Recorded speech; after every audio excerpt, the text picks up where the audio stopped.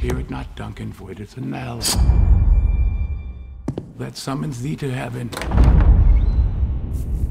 or to hell.